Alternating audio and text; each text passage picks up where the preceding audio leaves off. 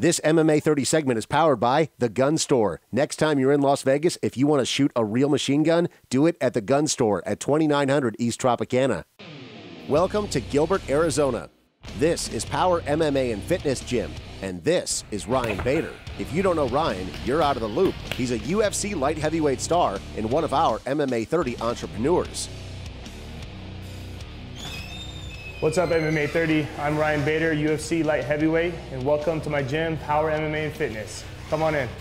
I hear you walk in, front desk and everything, and but the biggest thing right here, you see our 30-foot elevated cage. You know, true to form, canvas on there. It's not foreign when you get into an actual octagon, and it felt like you've never been there before. You're actually there every day training, so when you step in that octagon, you're ready to go. A lot of our members compete in Jiu-Jitsu, Muay Thai, MMA, and so when anybody wins a belt or anything, put it up here. Hopefully we'll get this whole thing filled up and the other side, everybody has a belt or something. Right here we have the boxing ring. It's about 26 foot boxing ring. So over here we have the men's and women's locker room. They're pretty big. Used to be a Bally's Fitness, so we have a lot of lockers, bathroom sinks, and we even have a sauna in each, in the men's and women. Just a nice little recovery maybe after a practice. And when you step out outside, we've got tires. We'll push that all the way down this little road back here. And it's not fun when you come out here, I'll tell you that. All right, coming out of the locker rooms and we're uh, going to the other side of the gym, more of the fitness side of it. You're gonna see a lot of machines, pretty much every type of machine you need we got it, and that's about it. That's Power MMA and Fitness. Well, I started out wrestling at Arizona State University, and I made a lot of contacts in that wrestling world and a lot of friends, and, and that carried over into MMA. Guys like Cain Velasquez, CB Dollaway, Aaron Simpson. Two of those guys, Aaron Simpson and CB Dollaway, are my partners in this gym today. We went into a another MMA gym that you know a friend brought us to, and we fought out of there for a while.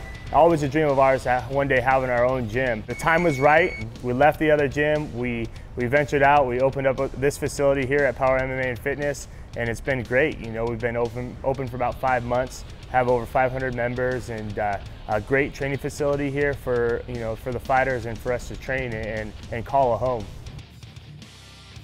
Most rewarding part of having this gym is coming here, you know, at 5.30 and seeing it packed with parents watching their kids and, seeing everybody happy and seeing everybody be successful in the gym, whether that's you know the jiu-jitsu kids team or all the way up to our UFC fighters. So that's the biggest you know thrill I get coming in here and see people smiling, wanting to be here.